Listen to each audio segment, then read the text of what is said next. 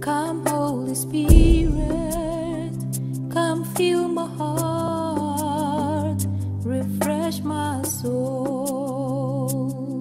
This is your season of grace with your host, Patrick Henry Edet. Inflame my heart, Get ready for Grace Revolution.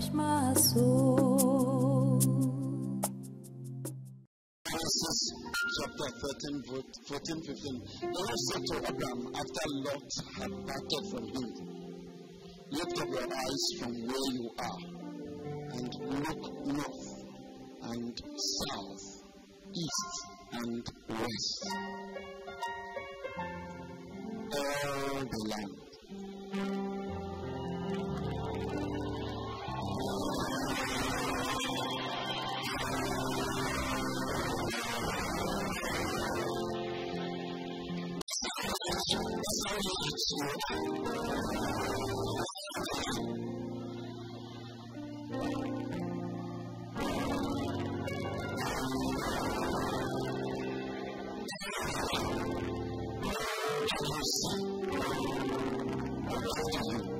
So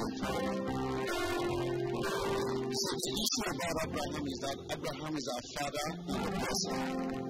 When it comes to blessing, we go straight to Abraham. Paul is very clear in tracing the root of blessing. It doesn't take us to Jacob, It does not take us to Israel, It takes us to Abraham. So, all the promises of Abraham in Christ Jesus, they are your promises. And God expects that Abraham is, because you are the seed of Abraham by faith. Faith, what makes Abraham a friend of God is not because he obeyed the law, it was because he, he believed in God. He relied on God. And it was credited to him as righteousness. So in Christ Jesus, we have a righteousness like that of Abraham. Our righteousness is not like that of, of Israel achieved through the law. Our righteousness is the righteousness of Abraham achieved by faith. And the blessing we have is the connection of Abraham. So this blessing now, this gift of the Lord becomes your own. Look at that. The Lord said to Abraham, after Lot had parted from him, lift up your eyes from where you are. Shh, from where you are. If maybe you are depressed right now, said, lift up your eyes from where you are. From that place of depression, from that place of rejection, from that place of confusion and deception, from that place where you don't hope anything good will come. He said, lift up your eyes from where you are. You must lift up your eyes from where you are. As long as you keep looking at where you are, you will never get anywhere. You will never know anything because where you are may not be the best place, but where you are is not actually God. Abraham was not found in a good place, but God told him, lift up your eyes from where you are. Standing from where you are, but don't look at where you are. You are permitted to stand where you are, but look beyond where you are. See from where you are, don't see where you are. It is a different thing to see where you are, and it's another thing to see from where you are. Seeing where you are condemns you. Seeing where you are limits you. Seeing where you are castrates you. Takes power from you. But when you see from where you are, you can ignore the shouts of where you are. You can ignore the, adversity of the place that you are. Tell yourself, from this moment, I am am.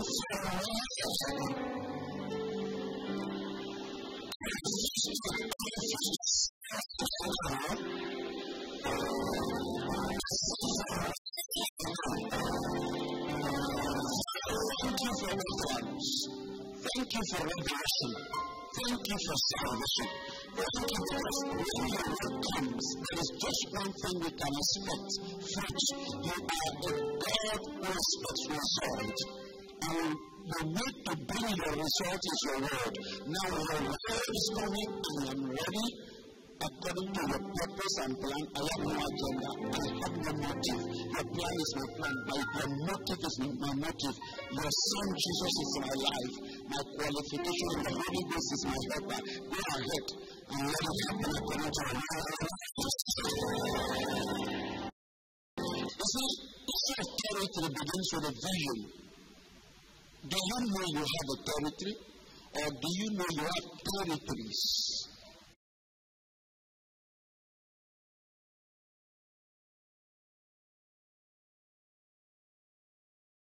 That's the first thing the root and the foundation of the call of Abraham and the relationship between God and that man is the issue of territory. Genesis chapter 12, you'll be surprised. God never talked about heaven. God never told Abraham about heaven. Be careful. God did not tell Abraham about heaven. He did not tell him about New Jerusalem. He didn't tell him anything other than the land, the territory. Genesis chapter 12, from verse 1 The Lord had said to Abraham, Leave your country, your people, and your father's household, and go to the land I will show you. Tell somebody, land. In that land, I will make you into a great nation. Every promise God is making now is based upon the land. In that land, I will make you into a great nation. I will bless you.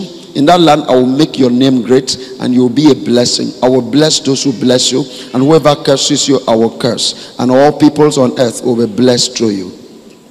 So Abraham left as the Lord had told him, and Lot went with him. Abraham was 75 years old when he set out from Haran. He took his wife Sarai, his nephew Lot, all the possessions he had accumulated, and the people they had acquired in Haran, and they set out for the land of Canaan, and they arrived there. Tell somebody there. They left there to there. Verse 6 Abram traveled through the land. How many times have we seen the land? We have seen like three times right now. Abram traveled through the land as far as the site of the great tree of Moreh at Shechem. At that time, the Canaanites were in the land. It does not matter which Canaanites are there now. At that time, they were. Maybe this time they are. But they are not going to be there for long. That's why taking territory is strategic. Because the land is never vacant, there are always occupants. I don't know whether I'm talking to somebody. That's if you are not careful, you cannot recognize your land because there are people, there are things occupying the land. the Lord appeared to Abram and said, this is like a confirmation. In case you you are dismayed, in case you are confused at the sight of these Canaanites, don't mind them. Look at that verse. The Lord appeared to Abraham and said, To your offspring, I will give this land. Don't mind these Canaanites. because Abraham saw the Canaanites. Am I talking to you? Listen to me. Don't know which Canaanites you are seeing. There may be a particular Canaanite you see and you doubt, how can this be mine? And these things are there. These things could be sickness, could be anything. These things could be anything obstruction, anything that obstructs your view, anything that prevents you from seeing, if anything that makes you doubt. Anything. God is telling you, ignore these things, these Canaanites. I will give it to you. It's a promise. Tell somebody it's a promise. You see, God doesn't tell you everything at the same time. At first, He doesn't tell, it just tells you something. So when you hear something, walk with something, move with something. He told Abraham, Come. And he came, he saw the land. Abraham was checking out on the land. You know, like, you like to check out, check out on the land, and you see something. And he said, Abraham must have been doubting. Ah, this land is mine. What of these guys here? They build houses, they have everything. This is a place that people are, have settled on in a la- for a long time. So, what am I going to do? Abraham must have been meditating and telling himself, maybe I'm in a wrong territory. Maybe this is not where God expected me to be. Maybe He will give me direction. When God came, He didn't tell him, "You miss your place. You miss your your steps." He told him, "This is the place. I will give it to you. Don't mind the Canaanites." Tell somebody, "Don't be bothered by them." Tell another person, "Don't be bothered by the Canaanites." It is your territory. When we talk about a call of God, a lot of people think, oh, call to be a prophet. Call, no, no. A call to be a child of God is the greatest call. Being a child of God is the first call. The greatest call is the call to be a child of God. A wonderful thing that it is that we have been called God's children. That's who we are. What we shall be in the future. God doesn't praise people for being called prophets or being called priests or being called what? The scripture in First John chapter 3, verse 1 how great is the love the Father has lavished on us that we should be called what? Children of God. And that is what we are. That's the first call. And this call comes with a promise. This call is in, a, is, in, is, is, in, is in a position in the same thing that came upon Abraham. When, when the call came upon Abraham, his, his status changed, his location changed. When the call of being a child of God comes upon you, you are changed. The scripture says, Whoever is in Christ Jesus is who? Is a new creation. So there is a call upon your life. Tell somebody there's a call upon your life. The call of God upon your life is a call of being a child of God, being God's ambassador, being God's descendant. And it comes with a promise. And the promise is that I will give you this land. At some moment, your marriage you discover is a territory. Some moments you discover your health is a territory. Just you discover your, your profession is your territory. You discover your career is your territory. Discover your vision is your territory. This territory will become different things at different times. When God called you, there is a purpose, and the purpose has to do with territory. Territory is space, a place of life, a place of increasing and prospering in, a place of living your life where, what God has given you to live your life in from and on, that's your territory. Where God has given you to live your life in from and on, that is your territory. Am I talking to somebody? If God has called you to live your life on business, that's your territory. Any dimension of your life that God has fashioned as a gift of life for you there's a promise. That's your territory. Abraham, first of all, lived as a foreigner, as an alien in his territory. You see, let me tell you something. Where you will possess tomorrow, you are first of all a foreigner today. That's it. Be humble. Humility is the greatest power on earth. Humility makes you live like an alien in a place you will possess tomorrow. Abraham walked around. He saw Canaanites. Canaanites were eating and drinking. They was, they did, he didn't even have a, Abraham had to buy a place to bury the wife. But that was his land. And Jacob lay down on that same land with stone as his what? His pillow. And God told him, This land on which you lie, I will give it to you. He was hopeless. He was desperate. He was running from something and afraid of everything. But God says, You may be afraid, but you are the king of this place. You are the owner of this thing. I want to tell you that place where you are insecure, you are actually the owner you don't know.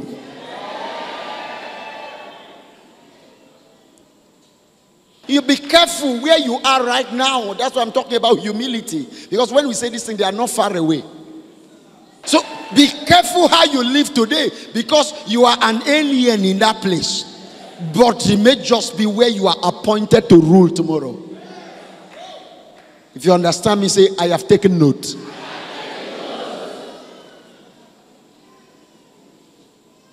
There are certain things that you can do that can change your destiny. Certain little mistake that can change your destiny for evil or for good. Humility is the greatest friend you need.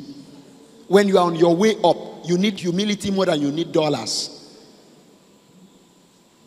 Genesis chapter 30. Okay. Then the Lord said to Abraham, after Lot had parted from him, lift up your eyes from where you are and look north and south, east and west. All the land that you see, put it in New King James Version. For all the land which you see, I give to you. Put it in King James Version. For all the land which thou seest, to thee will I give it. So there is an agreement. All the land that you see. So it begins with seeing. And I want you to be careful how you see. Don't see according to how others see you. Others may see you right now as an alien, as a foreigner, as somebody without rights. But see yourself as God sees you. God say, all that you can see is your own. Let's go to the next step. Matthew chapter 11, verse 12. He said, From the days of John the Baptist until now, the kingdom of heaven has been forcefully advancing, and forceful men lay hold of it. This is NIV. Go to New King James Version.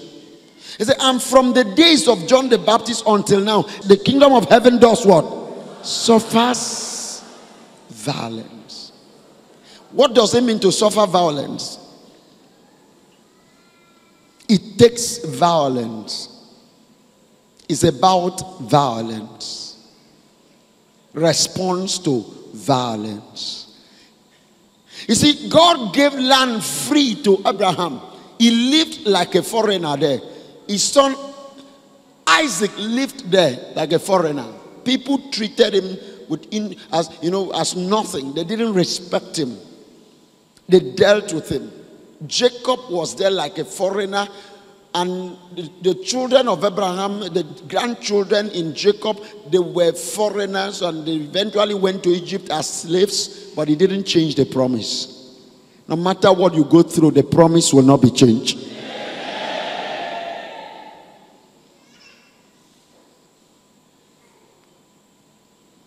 How did they conquer the land? They didn't donate the land to them. The Canaanites did not tell them, okay, we have been told that God gave you this land. Oh, yeah, we are tired. Come and take the land. Some of us will like that one. How witches will tell us, I'm tired of attacking you. Take your blessing. oh, that one will be beautiful, right? Tell somebody it will never happen. You have to take it. tell, stand up and tell three people it will never happen. You have to take it.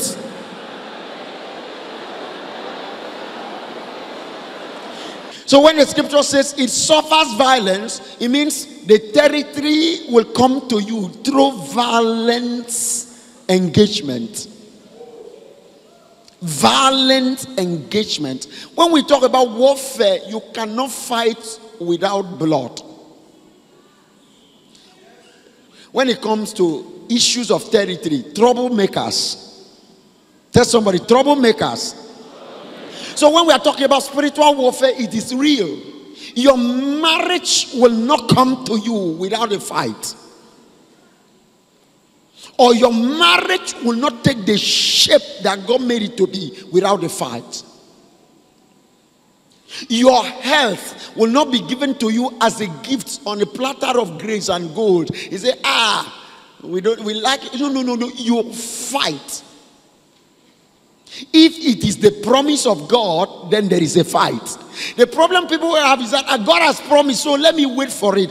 God promised Abraham, but the children have had to fight for it. Fight is necessary. The scripture says, from the time of John the Baptist, from the days of John, till when? Until when? If you read this scripture tomorrow, it is still now. If you read it 20 years from now, 100 years ago, 1,000 years ago, it was violent. 1,000 years from now, if Jesus does not come before that time, it's still going to be violent. There will never be a day you wake up and matters of the kingdom. When we talk about the kingdom, we are talking about the rulership of God, the administration of grace, the administration of God. God, in His administration, in His kingdom, has given you some blessing. It could be marriage, it could be health, it could be children, it could be business, it could be finance, it could be anything, it could be industry, it could be whatever it is that God has made as a promise towards you. Any day you wake up, it will still be now until now it suffers violence. Until now, there has to be a fight. Until now, there has to be a, an engagement that is violent, an engagement that will cause you to sweat, an engagement that will take sleep from you certain night, an engagement that you, you sit on a table to eat, and something tells you it is not time to eat. I don't know whether have you been there before? You come back from somewhere hungry and you want to sit down, something tells you no, it's time to take yourself to where you can pray. There are some days your stomach revolts against food because there is something that your life demands your peace and it's in your territory. Tell somebody, I take no rest until I take it. Which means if rest is placed before you, and taking it is placed before you. You tell rest, wait for me. Let me take it. Tell rest, wait. Stand up and tell rest, rest, wait for me. Tell easy life, easy life, wait for me. Tell comfort, comfort, wait for me. Tell enjoyment, enjoyment, wait for me. I take it first. Glory to God.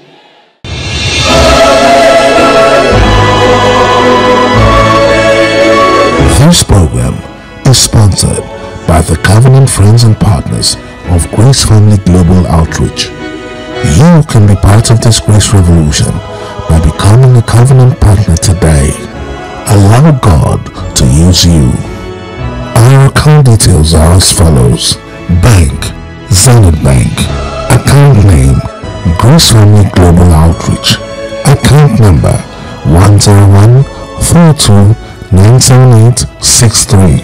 For inquiries, please call 081 804 33225 or 090 738 38742. To all our covenant partners and friends, we say thank you. Like the widow of Zarephath, your oil will never run dry.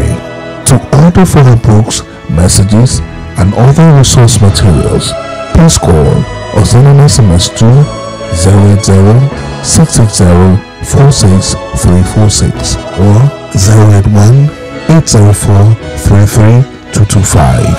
Videos are also available on YouTube at www.youtube.com forward slash Grace Family Outreach.